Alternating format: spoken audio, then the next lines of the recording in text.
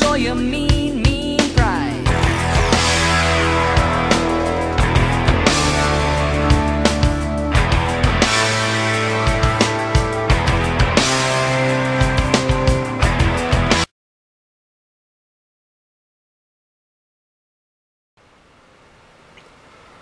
Alright guys, I'm back again and I just got done watching Intellivision Dude's video of how to get your NES games to work almost every time and of course almost is in quotations there because he had a little bit of trouble getting some games to work but for the most part, you know, he did a really good job as to getting these clean and getting his system working and all that. And I figured that it was about time that I made a similar video to this because I myself have been thinking about making this for a while.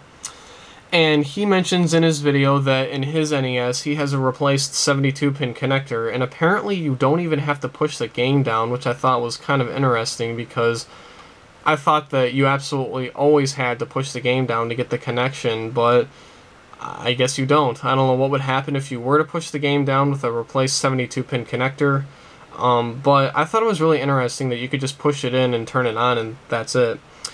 And he also mentions that he's really strict about cleaning his games, and I myself am definitely strict about that because every single new NES game that I get, I have to clean it very thoroughly before I even put it in my NES. And one more thing I really do want to mention as well is that my NES still has the original 72-pin connector inside. I only want to replace it if I absolutely have to, but for now I'm just relying on actually cleaning my games which so far is doing really, really well because even though I do kind of have to fiddle with the game every once in a while to get it to work, you know, it's still a lot better than most other NESs out there. I don't have to blow in the game or any crazy stuff like that. All I gotta do is just kind of wiggle it around and then turn on the power and then it should do okay. So, like I said, I'm only going to replace the 72-pin connector if I absolutely have to, but for right now, it still has the original one inside and still works great to this day. And the other reason why I'm making this video is because I really want to show you guys my method as to how I clean my games.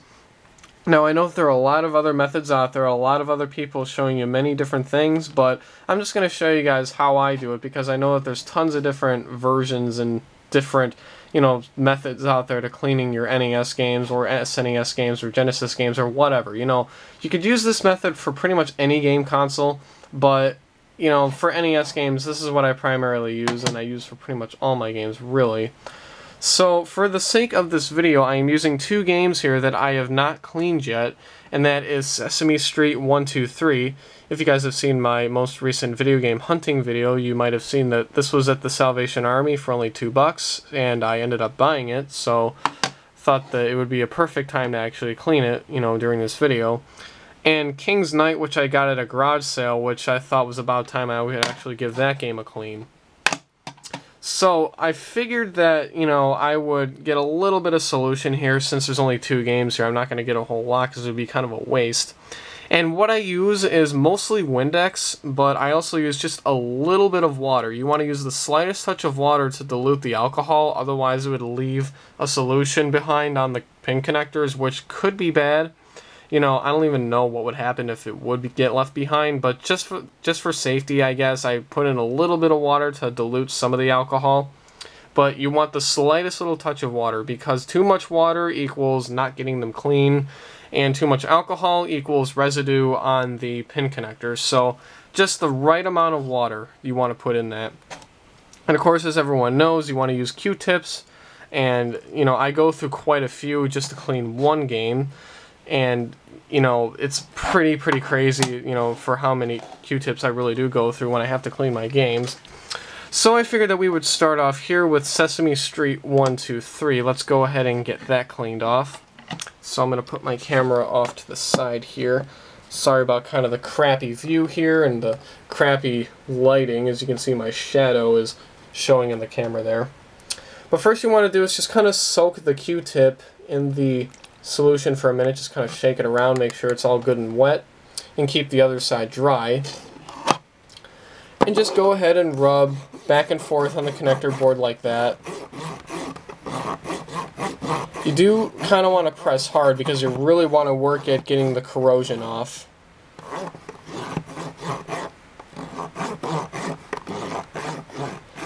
And you're going to eventually want to do the same thing to the other side of the connector board.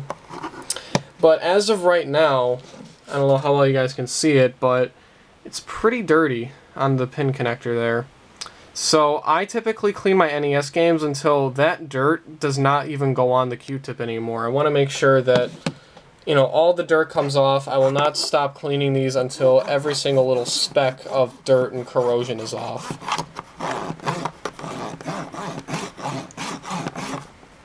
Okay, so now let's go ahead and try out other side of the board here. Again, soak the other side of the Q-tip and rub back and forth like so.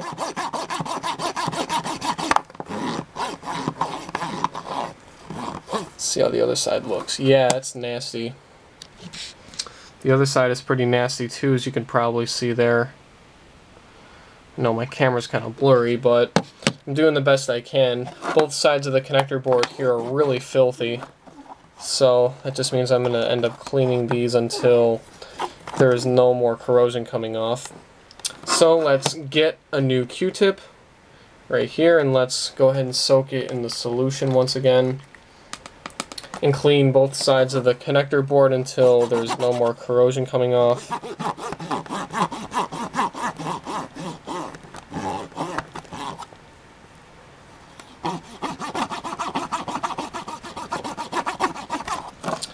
The other side here.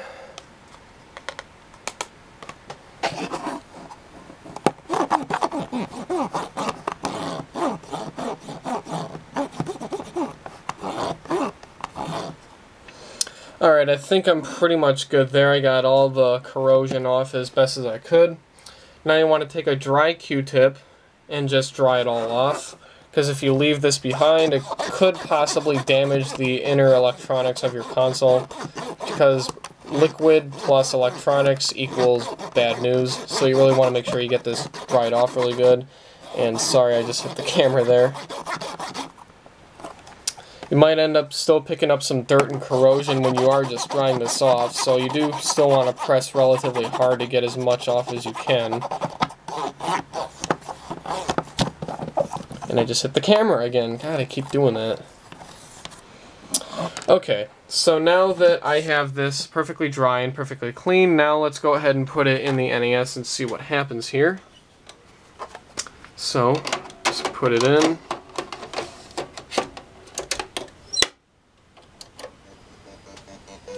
Alright, first try and we got it to work. Oh boy, we have Ernie's Magic Shapes or Astro Grover. Why not? I'll play this for a couple minutes just to humor you guys. Uh, what should we do? Let's do Ernie's Magic Shapes. Ernie's Magic Shapes. Uh, Presto Shapo, match the shapes.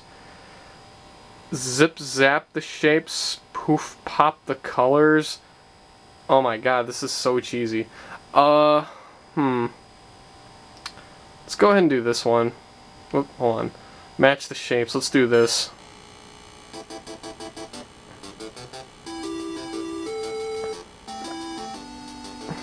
Well, I guess you just gotta select it and press A. And look at that, you picked the correct shape. Isn't that, isn't that nice? We got the little bunny coming out and saying, yay, you did it. Let's try this one more time. I can imagine somebody getting really drunk and playing this game and having just the greatest time with it.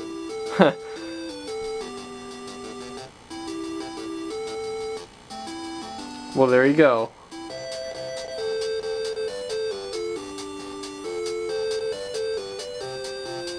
Well, thank you very much, Mr. Bunny.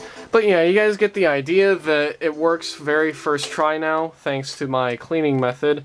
And this is still an original 72-pin connector. And a very good way to tell that it is, is that the game's going very smoothly. You really don't have to apply any force at all to get it to go in. It's just very smooth going in, very easy to push down. And it will go on very first try using this method.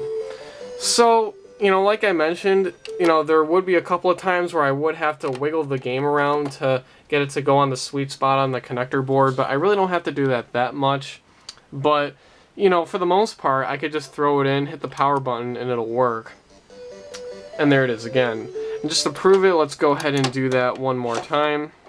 Push it in, press down, turn it on. So yeah, I really hope that you guys found this video to be really informative, and if you guys have any questions about some methods of getting the games to work or some cleaning, you know, solutions that you really want to, you know, learn how to make or any of that kind of stuff, you know, I'd be very happy to answer them for you. So, I hope you guys really enjoyed this video, and as always guys, have a great day.